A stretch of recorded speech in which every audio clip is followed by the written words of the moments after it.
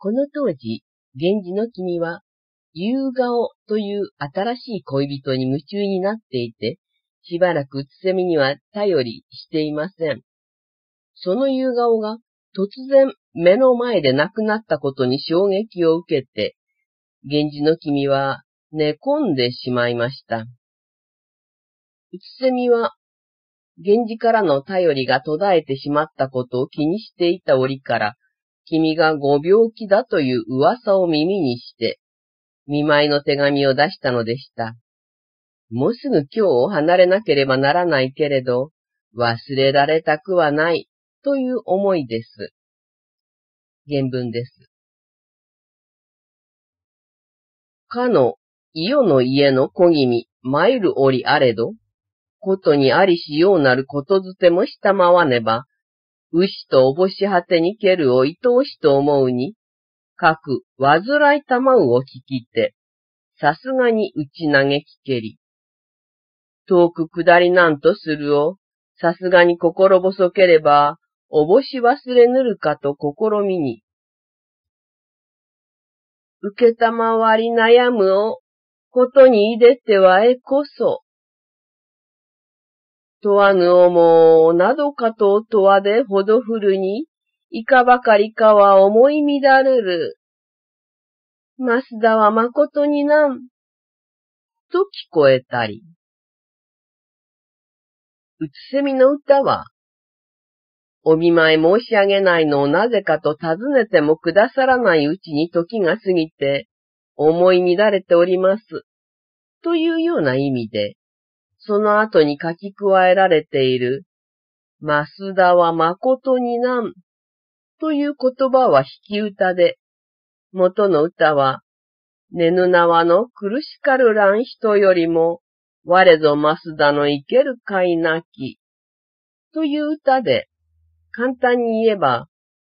苦しんでいらっしゃるご病気のあなた様よりも、私の方がもっと苦しい毎日で生きている気もしません。というような意味でしょうか。亡くなった夕顔のことで頭がいっぱいだった源氏の君ですが、珍しくうつせみの方から手紙があったことで、ああ、この人もいたのだった、と懐かしく思い出して、まだ病の癒えないまま震える手で返事を書いたのでした。原文で読みましょう。生けるかいなきや、たが岩ましことにか。うつせみの世は浮き者と尻にしよう。またことの葉にかかる命を、儚しや。と、おんても内花ななかるるに、かかき乱れたまえる。いとど美しげなり。源氏の君からの返事には、生きている甲斐がないとはどちらのセリフでしょうかとあり、歌にはあの薄衣のことが読み込まれていました。そこで、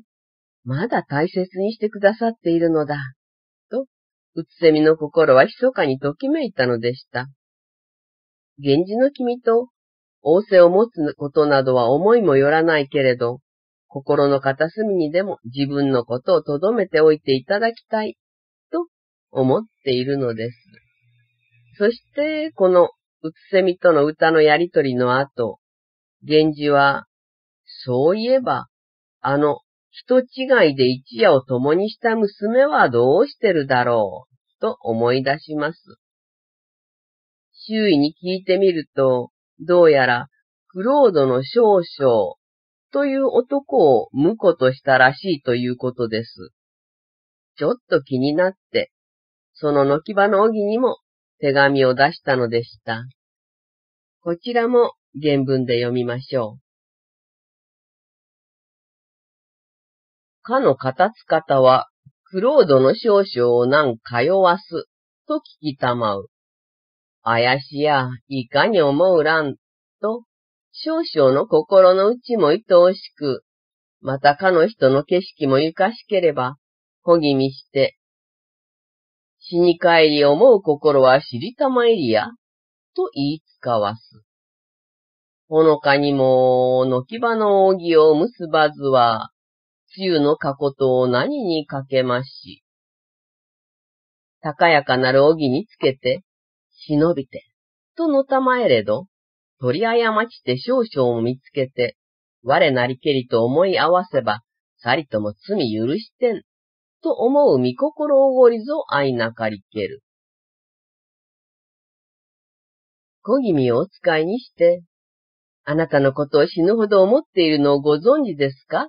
という工場とともに、竹の高い荻に歌を結びつけて、のき場の荻のもとに届けさせたのです。わざわざ竹の高い荻を使ったのは、彼女の背が高いのをからかっているのです。そんな目立つようなことをしておきながら口では、忍びて、つまり、こっそり持っていけと言っています。しかも、この手紙が、もし、婿である少々に見つかったとしても、先にちぎった相手が自分であると知ったなら、問題にはならないだろうと源氏は思ったとあります。随分な思い上がりですね。その手紙を受け取ったのき場のおぎは、恨めしく思いながらも、思い出していただけたことが嬉しくて、その場ですぐに変化を書きつけて小気味に渡したのでした。その歌を見て源氏は、やはりちょっと品のない字だな。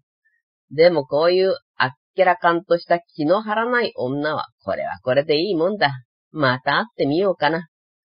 などと、うつせみと比べてそんなことを思ったりしたのでした。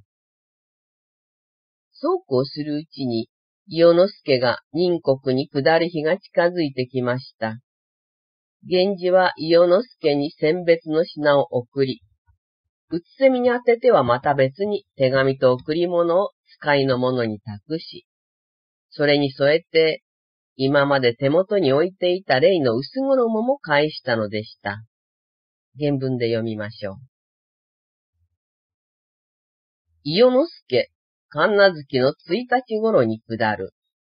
女房の下らんにとて、たむけ心ことにせさせたまう。また内々にもわざとしたまいて、細やかに、おかしきさまなる串、扇を多くして、ぬさなどわざとがましくて、かの小打ちきも使わす。会うまでの片身ばかりと見しほどにひたすら袖の口に蹴るかな。細かなることどもあれど、うるさければ書かず。見つかい帰りにけれど、こぎみして、こうちきの恩帰りばかりは聞こえさせたまえり。セミの葉も、立ち替えてける夏頃も、返すを見ても根は泣かれけり。思えど怪しゅう人に似ぬ心強さにても振り離れぬるかな、と思い続けたまう。今日ぞ冬立つ日なりけるもしるく、打ちしぐれて空の景色いと哀れなり。うつせみへの贈り物は、おしゃれな櫛や扇のいろいろと、ぬさ袋だったと書かれています。そして源氏が添えた歌、会うまでの形見ばかりと見しほどに、ひたすら袖の口に蹴るかな、はまた会うまでの形見だと思って、手元に置いているうちに、この小内着の袖は私の涙ですっかり朽ちてしまいました。というような意味で、それに対してうつせみは、セミの羽のような夏の薄衣をお返しくださるにつけても、私のことはお忘れになるということなのかと声を上げて泣いてしまいます。と返しています。こうしてうつせみは去っていきました。結局、一度だけの仰せに終わったうつせみに、源氏は未練を残しつつ諦めるしかなかったのでした。これで源氏とうつせみの物語は完全に終わったというふうに読めるのですが、紫式部は改めてもう一度うつせみのために一巻きを設けています。4年後、関屋の巻でこのうつせみの後日談が語られるのです。その再会の場面は次回に回すとして、ここでちょっと思い起こしていた、光源氏の年齢です。なんと、17歳です。時代が違うとはいえ、今の高校生と同じ年頃と思うと、なんて、おませで、大人なんだろう、と、本当に驚いてしまいます。今日はここまでです。